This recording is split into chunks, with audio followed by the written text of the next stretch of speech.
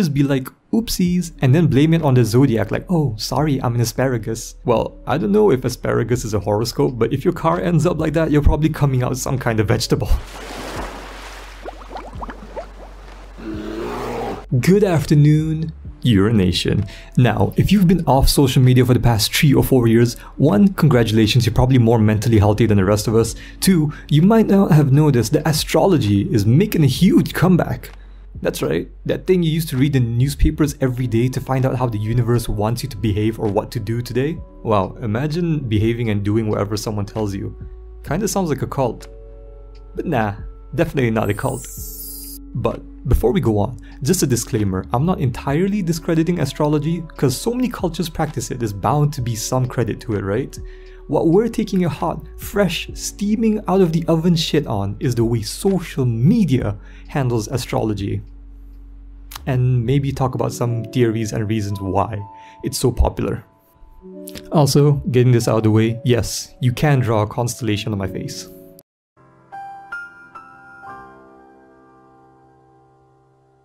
Now, let's look to the stars. So I wrote a whole ass paragraph trying to explain how horoscopes work, but then I realized who in the ass doesn't know what their horoscope is. There's 12 of them and your destiny is assigned to you based on your date of birth.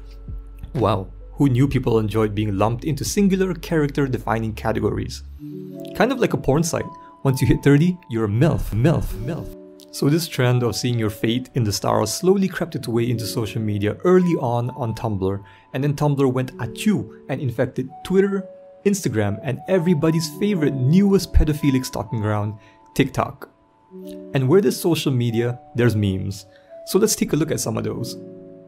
Okay, so this first one's more of a post than a meme, but it's a great appetizer to show you how culty, I mean, crazy some of these people are about astrology.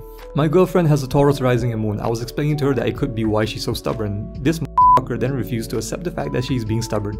Yes, she was being stubborn about being called stubborn. Taurians. Just to tell yourself, she could be Aries Sun, Taurus Moon, and Capricorn Rising like my friend. I'm not okay by the way. Lol, I have an Aries Moon and Taurus Rising but Aqua Sun, still trying to figure out what that means. Damn, imagine having this dude as your boyfriend. Baby, my cat died. Ah, baby, don't worry. It's normal for you to cry. You're a Pisces, remember? Aw, babe, I'm so glad I have you to disregard my feelings and assume your loved ones behave based on hipster pseudoscience. I love you so much I would literally kill myself without you. Of course you would. You're a Pisces. Now, for context, I'm a Taurus, but apparently I'm a cunt. And that means I have a bit of Aries in me. Now, why does this matter? Because I fucking hate Taurus memes. They're all the same, boring, unoriginal, unfunny shit. Some once told me I was fat and lazy because I'm a Taurus. And it doesn't help that our mascot's a cow. All we do is eat and sleep. Moo moo, bitch, I'm a cow. When someone asks Taurus why they can't hang out, I have to rest 22 hours a day.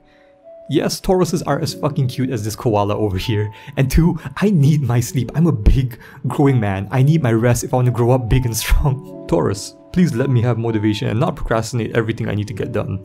No. That's honestly why this video took so long, not gonna lie. Damn, you just ate. You're eating again.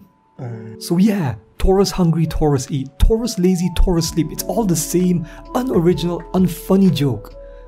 If you ever see me on the TLC reality show being strapped onto a wheelchair weighing 600 pounds, don't worry about me, ma. It's just, it's just Taurus things. Okay, this one's pretty fucking cute though. Why can't this be me? Now, let's see what the internet thinks about the other signs. So there's fire signs, Leo, Aries, and Sagittarius. They're all energetic, wild, and chaotic as fuck. Earth signs, Taurus, Virgo, Capricorn apparently don't give a shit about anything. Water signs, Pisces, Scorpio, Cancer are emotional fucking babies that will cry the moment you breathed the wrong way. And then we have air signs. I have no idea what this cat is trying to portray. I don't like the way it's looking at me. And now for the top 10 most hated star signs. Number 1 Gemini. Growing up with three parents was really weird. What? You had three parents? Yeah, my mom's a Gemini. According to the internet, the Gemini is the worst horoscope to ever exist. So bad they'd make you think Hitler was a Gemini. But he's a Taurus. For some reason, there's so many memes shitting on Geminis. Sagittarius can make you feel like killing a person was okay and they had it coming. Definitely not a cult thing to say. And then we have Pisces and Cancer, two crybabies that can eat through a pack of tissues faster than a porn addicted 12 year old. Going through pages and pages of memes, I've noticed that water and air signs get a lot of shit, followed by fire and Earth signs tend to get the least shit of all, but I don't know, that's just from what I've seen. The way people shit on each other's horoscopes online is kind of like a gang war, like, oop, you a Libra rolling up into Aries town with that yee ass haircut, you about to get clapped, fool.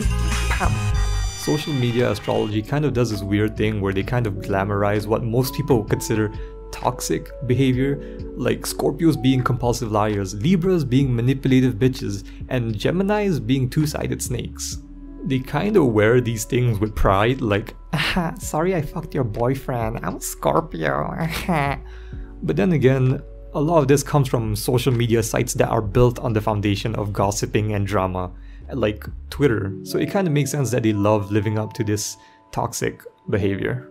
And as ancient Taoists have taught us, where does yin, there's yang. Where does a 7-Eleven, there's a crackhead waiting for you outside. And where there's astrology believers, there's memes that shit on them too. Like the classic, I can't help it, I'm a Scorpio. No Susan, you're And my personal favorite, like oopsies and then blame it on the zodiac like, oh sorry, I'm an asparagus. Well, I don't know if asparagus is a horoscope, but if your car ends up like that, you're probably coming out some kind of vegetable. And this was posted in an astrology subreddit and basically one of the concepts of why social media astrology is bad and why the promotion of bad behavior is just bad. Real talk for a moment, astrology is fun, but if you're having a serious issue in general, please don't go blaming it on Mercury being in retrograde. Go to therapy. Yeah, you're seeing stars alright? You're delusional, bro! Now, let's get to the big brain part of the video and theorize on why astrology suddenly had a big blow up on social media. You could come up with a reason as simple as astrology advice is so fucking general it can be applied to anyone, like Taurus, you're going through a rough time and you can cherry pick and put in your own personal experience onto that and you'd be like yeah that's true. I i vibe with that. I vibe with that. But that's too simple of a reason. Let's go for something a bit bigger love. I am very certain love is one of the biggest hands down the biggest reason a lot of people are interested in astrology. I remember being a chunky 11 year old waddling up to my computer typing my classmate's horoscope and be like we have an 80% match. and honestly, I've never used astrology as a baseline for love, and I don't know much about love and astrology, but all I know is if you're a Pisces, stay the fuck away from me. I've had too many of you, and y'all overreacting emotional asses are too much for my sanity and my heart pressure. and also that Tauruses are horny as fuck. And according to my astrology app, CoStar, I face pressure in sex every day. Every day. But really, in the modern world and in our generation where we rely on apps like Tinder, Bumble, Hinge to find love, where people lay out as much information about themselves for the public to see, it makes sense that we love astrology for that reason too. It helps us get a small sense of what the person we're trying to attract is like. It lays them out for us like Leos love attention, Cancers are emotional and soft, and maybe, just maybe, it helps us easier navigate the tangling vines of love or maybe even acting as a safety net for some of us who don't want to take a risk by going for compatible horoscopes. Because as we all know, taking a risk in a relationship is one of the scariest things someone can do. Wow, that just got really deep. So yeah, some people look to astrology kind of as a guidebook for love. Speaking of which brings me to my next point. When I mention a guidebook, I realize that our generation grew up with a metric crap ton of knowledge readily available. You wanna make a quesadilla? Google it.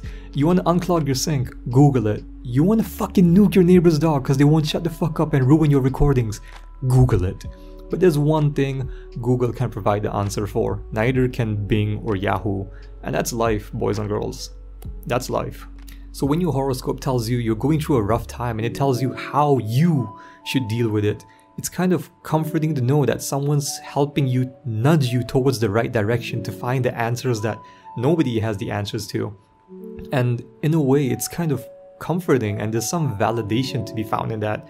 Like, who doesn't like being told that it's okay to feel this way or you're not the only person that feels this way, which again involves that categorizing that I mentioned way earlier in the video. Sometimes it feels comforting and validating to know that you're not the only person like this. And albeit horoscopes may not give the best advice, but who doesn't like being told they're doing a good job? Who doesn't like being told it's okay to feel that way? Or hashtag just Taurus things? Because in this day and age, we all crave a little bit of validation to make us feel a little better, right? And at this time, more than ever, we could all use some. If you made it this far, you're an amazing human being and you're doing the best you can. Thanks for watching, and consider subscribing to join the Urination. See, that's your validation for today.